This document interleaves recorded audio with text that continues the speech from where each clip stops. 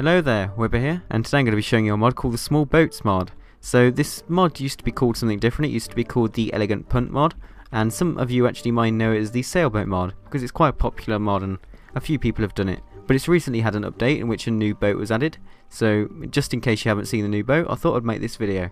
So the first boat I'm going to show you is called the Punt, and if you don't know what a punt is, it's just basically a flat bottom boat I don't know if it actually has to be specifically wooden, but I haven't really looked it up, so I'm sure you can do that yourself if you're that curious. So to craft one of these, you're going to need three boats, three wool, and two sticks. One thing to mention is that when you use three boats, it will actually craft the punt, but this is not actually the official crafting recipe, I think it's just a bug. You actually need to add um, three wool and two sticks for the official crafting recipe, which you'd really be using if you don't want to cheat or anything like that. So, anyway, if we go over here, you can actually see what it looks like. It's got a really awesome model. And the sail goes here, as you'd probably guess. It's also got a chest, so you can store items in it. So if we get in here and open the chest, you can see I've got some items stored in. So it's basically just like a portable chest, which you can use to transport your stuff across oceans and stuff. So anyway, it controls exactly the same way as a normal boat, and you'll see at slow speeds the sail's only like a half up, but as I go faster, the sail go fully. So the sail like shows how fast you're going. And anyway, it's also like you would in real life. Um, the sail would be blown by the wind more the faster you were going, so it would be out more and stuff like that. So anyway, I'm just sailing around, and you'll notice that I'm on one side of the boat, and that's because I'm sliding right, so I'm on the right side of the boat.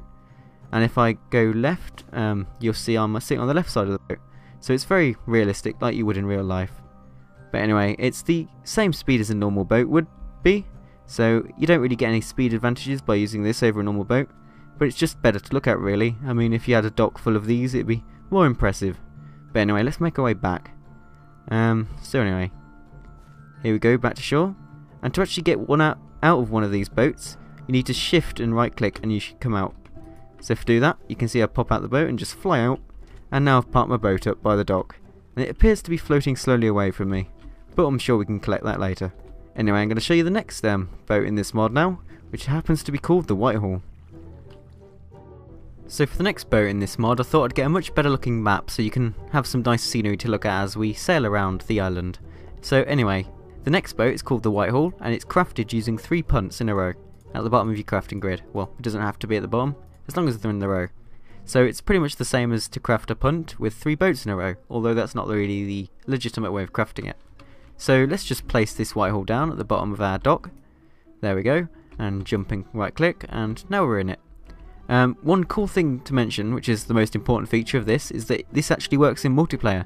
So you can have two people sitting in this at the same time, and suppose when you um, go around a corner, you'll both swap sides in really synchronized manner, which should look really awesome. You can also change seats manually by just right clicking to the other seat like that, and like that, which is really awesome. That's just, although it does seem to glitch out when I do that, and um, it stops me being able to move. I don't know if that's intentional. I don't think it would be, but that's a little bug, but it's only a little bug and it is quite a complex mod. So you'll also notice that I've got two chests here, and to access these I'm going to have to change seats so I can actually reach them. And you've got the port and the starboard chests, and you can access them and store double the amount of items as the other one. But again, I'm going to have to get out, otherwise I'm not going to be able to control the boat. But there we are. So it's a bit glitchy, but it's awesome anyway. You can also see it's got a much better model than the other one. It looks really nice. And you've got the red bottom and the white sides.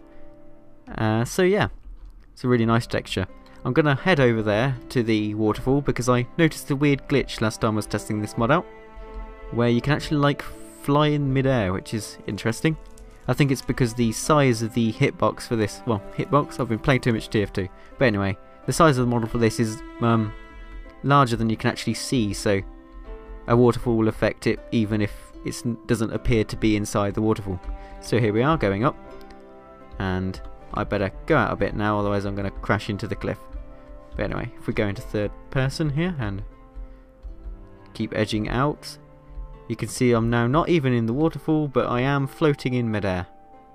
Uh, yep, I, I'm floating in midair, which is very interesting and cool, but uh, there's not really anything else I can say about this. I am literally floating and now I'm falling. Whee! There we are. Um, one thing I should say before I end this video is that these boats are very resilient, so you can crash into lots of stuff and they shouldn't break. I was expecting the boat to break then just to prove my point wrong, but as you can see I'm not breaking the boat and with a normal Minecraft boat I'd probably have broke it then. So yeah, overall a really awesome mod, just a few little bugs here and there, but I'm sure you can understand how complex this mod is and bugs are kind of unavoidable. I mean Minecraft still has bugs, like that damn shadow glitch, and it's been out for years, so yeah. Anyway, thank you for watching and see you next video. Definitely check this mod out.